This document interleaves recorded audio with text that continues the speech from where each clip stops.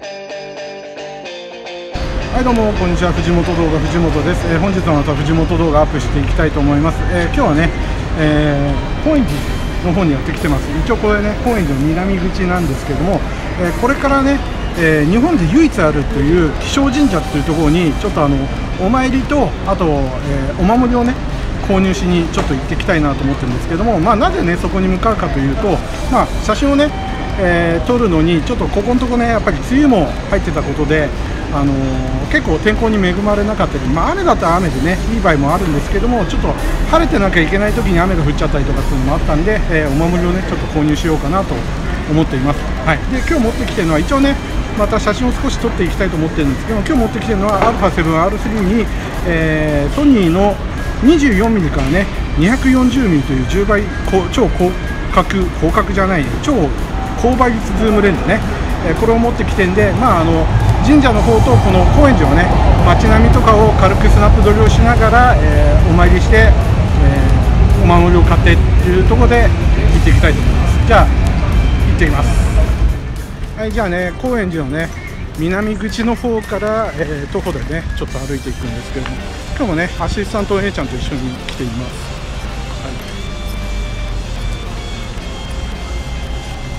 高円寺の駅前こんな感じですね。本当にねあの、まあ、去年もね、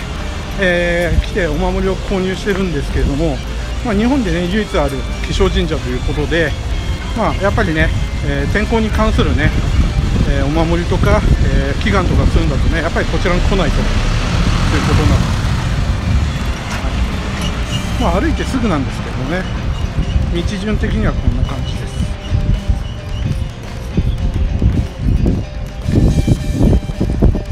若干ね駅前ですわずかにね静かな方に来る感じですけどね,、はい、ね目印はこのコーヒー屋さんの目印ですね。ポイモさん。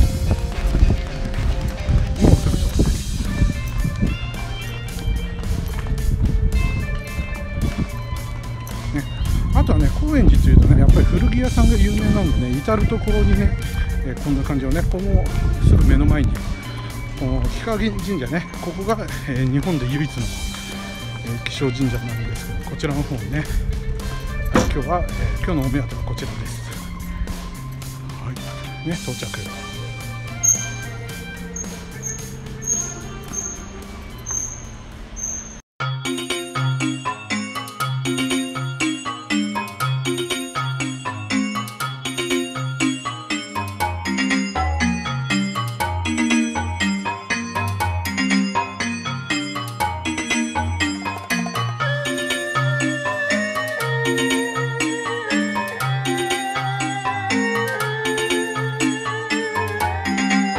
はい、じゃあねまずあの参拝からしていきたいと思います。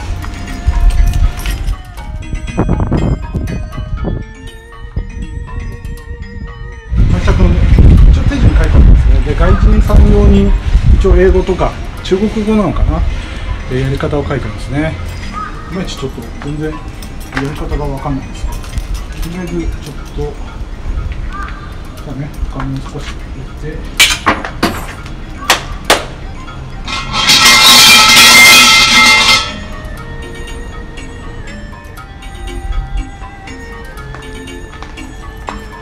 じゃあとりあえずお守り買いに行こうか。ね。じゃあねちょっとすごい静かな境内ですけどもね。えー、とお守りの方はね去年も去年ちょっとどこでお守り買えばいいのかよく分かんなかったんであれなんですけどこちらの方に行くと売ってる事務所があります。あやってないじゃん。ん？9時2時なんだ。me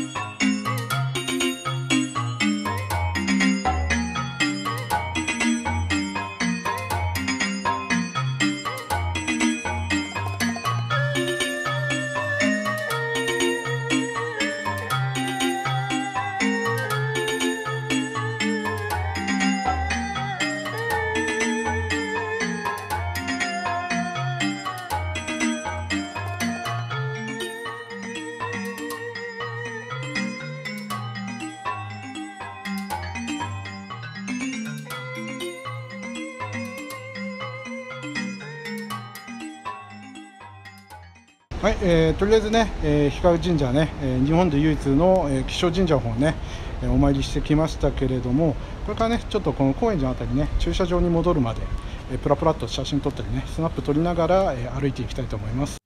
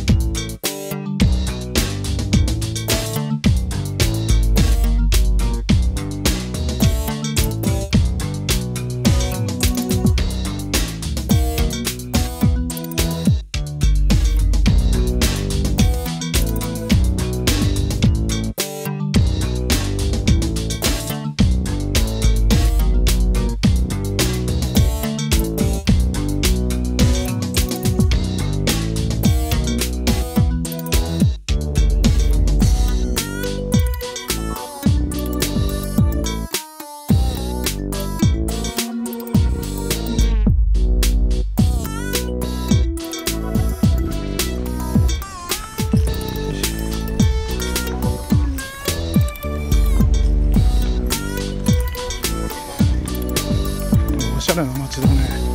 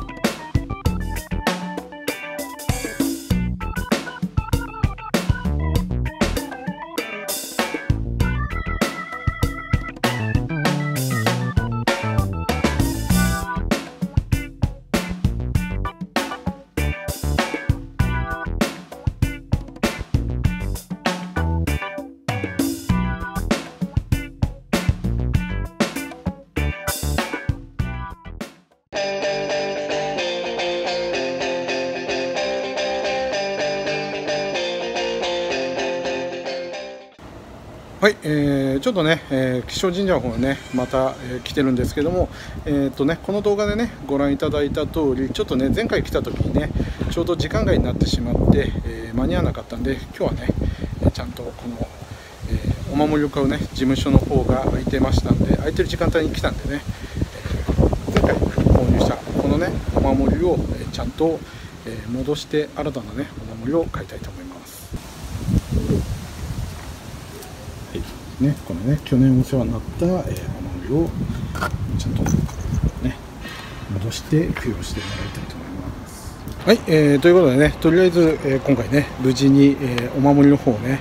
購入できたんで、えー、ねこれをちゃんと飾ってね、えー、きたいと思います。熊本の方とかね、えー、水害ね今大変なことになってますけれども、えー、日本で唯一ある気象神社の方でね、え熊本の方のえこう災害で雨とかの災害とかもこれ以上被害が出ないような祈願もしていきたいと思います。